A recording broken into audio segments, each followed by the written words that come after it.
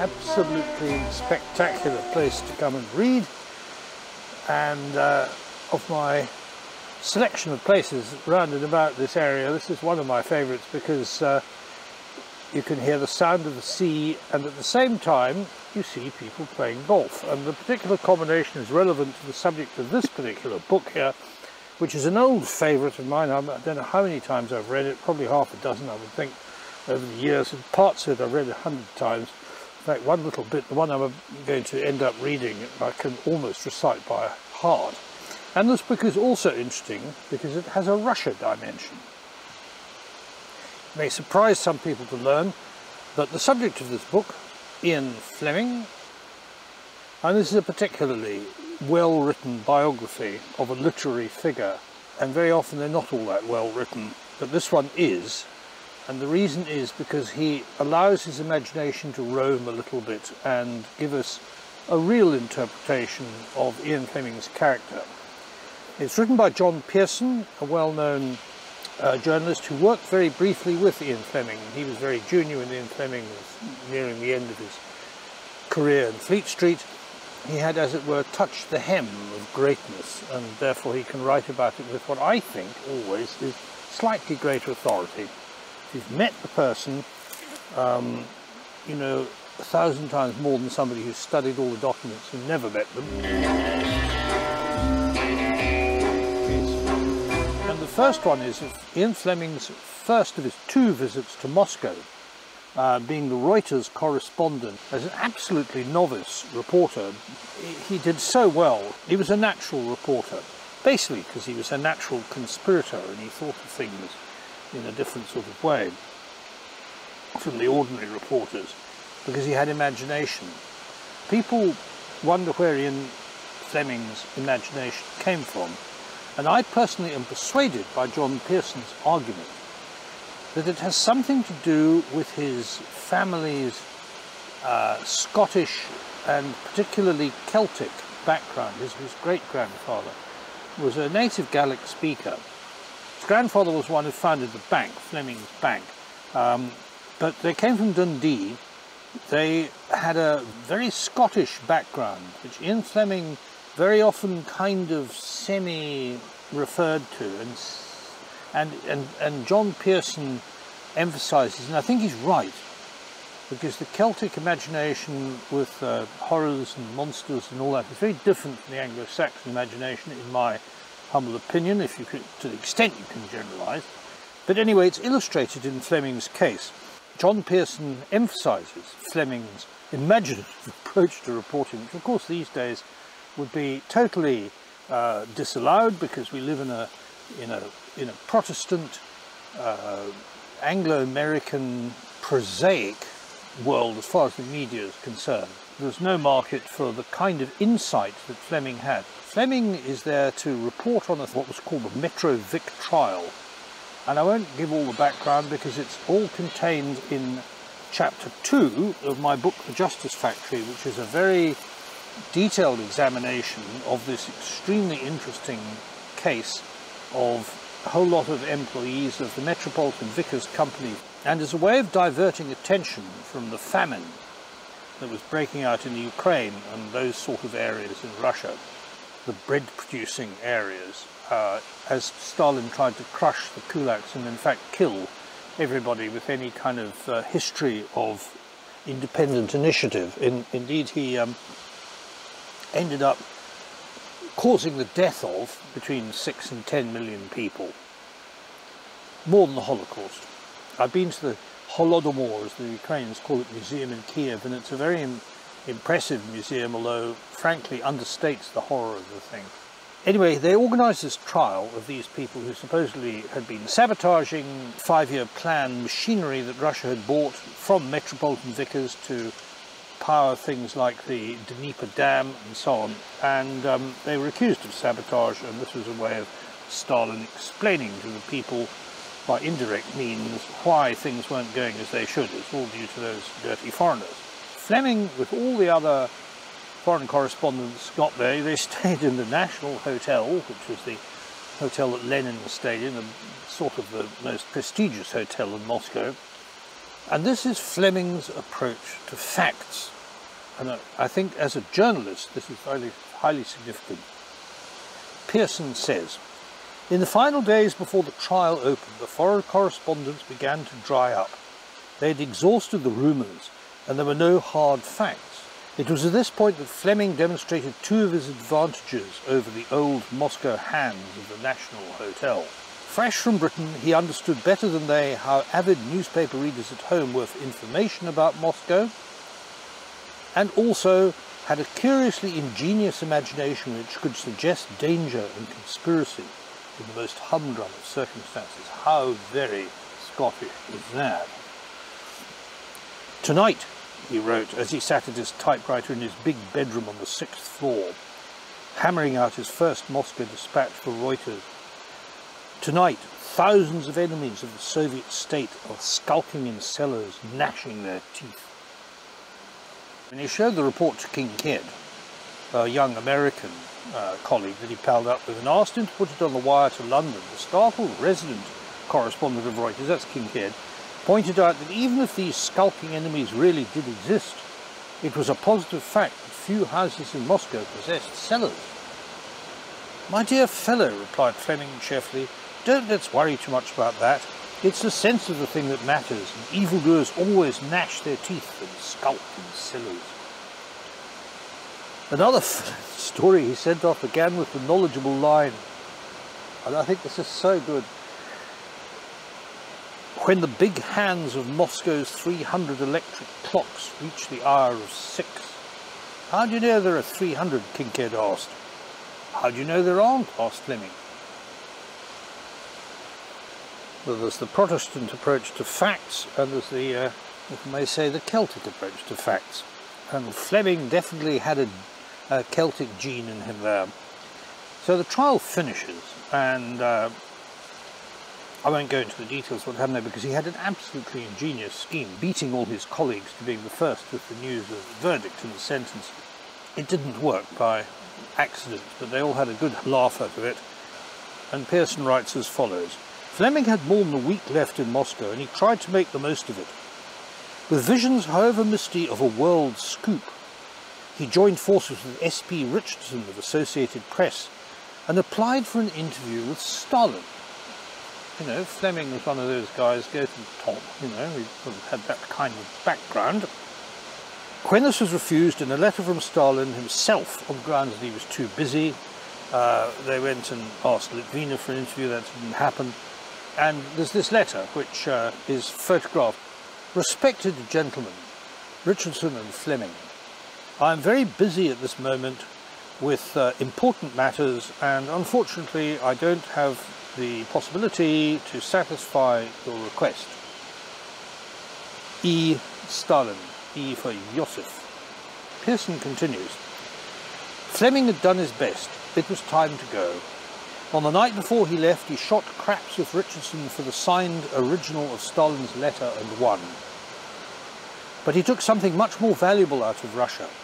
As he sat in the morning of April 23, 1933, in that empty Victorian dining car, spending his last roubles on his last Russian meal, with the old grey train scuttling on towards the Polish border, he carried with him memories which were to yield unexpected dividends in a quarter of a century's time. But in 1933, the world of Smersh and James Bond was not even a minute fragment of his imagination, and life had nothing more exciting to offer than the dull routine of Carmelite Street, that's where Reuters worked, where he resumed his job of sub-editing the inexhaustible flow of copy brought in wire baskets into the great dusty newsroom on the first floor of the Reuters building. How dull. Anyway, and this is where this kind of thing, I think, becomes very useful, people like Fleming, because he went back again in 1938 with a trade delegation. He was sent there really by the Foreign Office to, you know, they, he'd been there before. He thought they thought he might find something, find out something useful. And this, of course, is just typical of the way Britain operated then, because all the prosaic people reported, as we well know, that uh, Russia would be finished in six weeks. Some gave it 13. You know, there's all sorts of professional opinion in the army as to how many weeks the Soviet Union would su survive if the Nazis attacked it.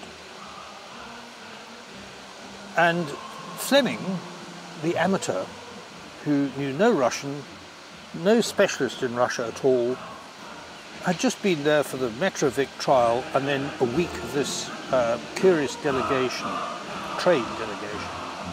And when he got back, Fleming wrote a report to the Foreign Office. He tried to, you know, suss the place out. That was the purpose of being there.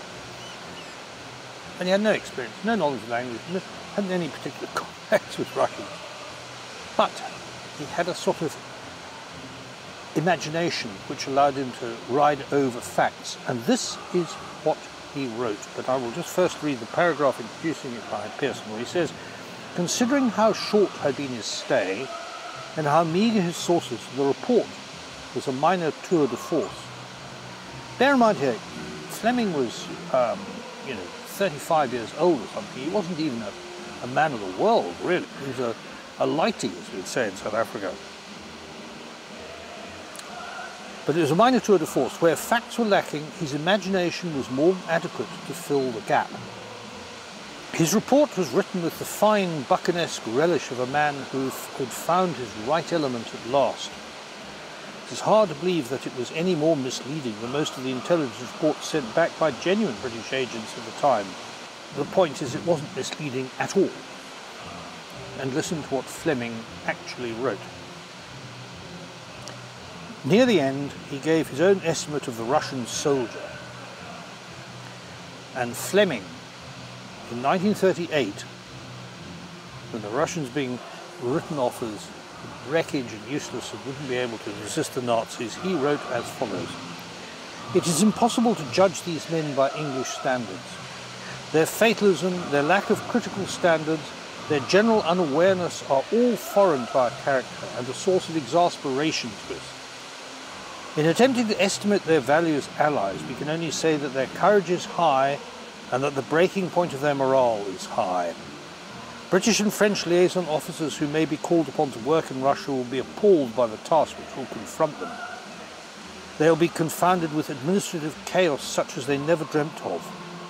They will flounder in a Sargasso sea of all red tape in the world.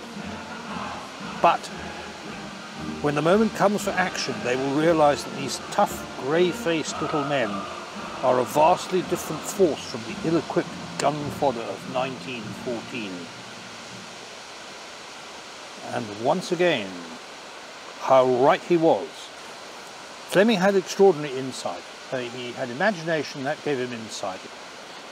So, he's in the war and he served in intelligence, came across the legends of people like Sidney Reilly, who I've mentioned elsewhere, and I think that's the model for James Bond and all that sort of thing. Maybe, maybe not. But in the middle of this, he just loathed the prosaic life of post-war Britain.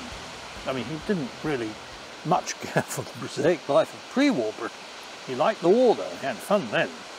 He had to go in 1944 for a, some sort of conference to do with his work in the Secret Service I won't bore you with the details, and to Jamaica for a couple of days. And so Pearson says, when the conference was over, he and Bryce had to fly straight back to Washington. Fleming was silent for most of the journey, but just before the plane landed, he turned to Bryce and said, I've made up my mind. I'm going to live the rest of my life in Jamaica. Bryce was amazed. He looked at the trip as a failure, could you please arrange to buy me a good patch of land? Fleming went on. I'll want about 15 acres. There must be cliffs of some sort, and a secret bay, and no roads between the house and the shore. When you've fixed it for me, I'll build a house and write and live here. I'd build a house and live here, except I've got a, a wee apartment uh, within cycling distance. So his friend Ivor Bryce arranged all this, um, found a place at Oracabessa. Um, the land cost £2,000, quite a bit of money in those days, but not a fortune. Uh, and he spent another £2,000 building the house, which became Goldeneye, where he used to go and write the James Bond novels, as we all know. In between the buying the house and starting the James Bond novels, Fleming wrote an article for Horizon magazine, edited by Cyril Connolly. Um, he describing Jamaica. And I think this is extremely interesting as well on the same uh, basis that the Moscow report was.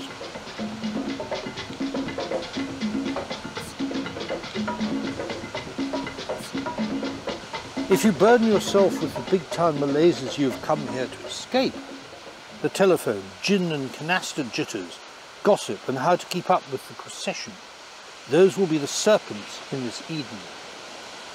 But if you can leave this triste baggage behind, you will find Jamaica has everything you need for a holiday of 20 days or 20 years, amidst a kindly and humorous people in the most beautiful large tropical island in the world. And Pearson comments, Jamaica was a daydream he could always believe in, an island that seemed unlike anywhere else in the world. It was the one place where he was really free from northern melancholy, free from the promptings of his solid Fleming ancestry. And he goes on to describe various aspects of Jamaica, but this is particularly uh, Fleming-esque. Another old Jamaican myth, myth that he treated as if it were actuality is the story of the cockpit country, known according to him as the land of look behind. He wrote, when taxes were introduced in 1790, the Maroons, the Spanish Negro inhabitants of this province, would not pay. The governor sent a company of redcoats up into the hills to enforce payment, but the Maroons repulsed them, set up their own government and refused allegiance to the crown. They still refuse it, and are the only corner of the British Empire to do so. Their colonel is a coloured man who with all his government wears a Sam Browne belt. He does very little governing except to maintain the rights of his people vis-a-vis -vis the governor. His people work and mix with their neighbours, intermarry and come and go as they please. But since they pay no taxes, no roads have ever been built into the province and there are no public facilities, such as post offices and social services. The terrain has never been surveyed, and if you look at the map, you will see a large white patch with red veins of roads coming to a full stop at the perimeter. As Fleming could himself easily have found out, you will look in vain on your map of modern Jamaica for that white patch where the red veins of the road come to a stop. The fact is that Jamaica fitted into that compartment of his mind where truth was not the primary concern. So we come to the concluding passage, and this is really the purpose of this whole reading, because this is the opening paragraph of a short story that Fleming wrote sometime in the modern period, we don't know when, it was never published, and Pearson quotes it, and if uh, his fantasy about Jamaica should be rescued from obscurity, I think this should too, because it really is Fleming speaking. Here is the man whose family come from the, the Angus Glens and who just never quite got accustomed to life in England. He liked Jamaica and he was fascinated by Russia and all sorts of other places, but uh, something about the Anglo-Saxon world, workaday world, that he just never got accustomed to. And he expresses it in this little passage. In the early morning, at about 7.30, the stringy whimperings of the piped radio brought visions of a million homes waking up all over Britain. Of him, or perhaps her, getting up to make the early morning tea, to put the dog out, to stoke the boiler. And then will this shirt do for another day? The socks, the pants, the ever-ready, the Gillette shave, the Brylcreem on the hair, the bowler hat or the Homburg, the umbrella and the briefcase, or the sample case. Then Dodo, the family saloon, out on the concrete arterial, probably with her driving. The red brick station, the other husbands, the other wives, the clickety-click of the 8.15 round the curve by the golf course. Hello, Sydney. Hello, Arthur. After you, Mr. Shaka. And the drab life picking up speed and flicking on up the rails between the conifers and the damp evergreens. Bond switched on his electric blanket and waited for his hot water with a slice of lemon and contemplated the world with horror and disgust.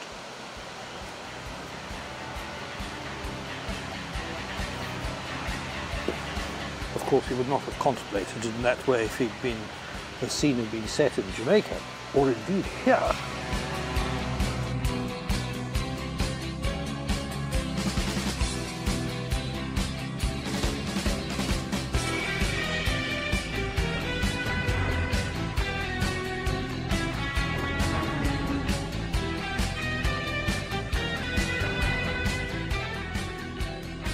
my Bibles out here is uh, James Bond's Birds of the West Indies, which is a very famous uh, ornithological book indeed. And I thought, well, now James Bond, now that's a pretty craft name. And so I simply stole it and used it.